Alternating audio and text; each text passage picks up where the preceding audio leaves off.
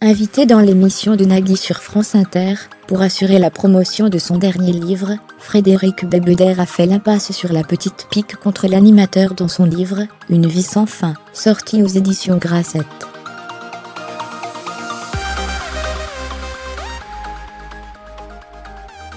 Point dans son ouvrage, l'auteur avait pointé du doigt les vieux animateurs télé, qui refusent de décrocher et continuent d'animer des jeux de billes.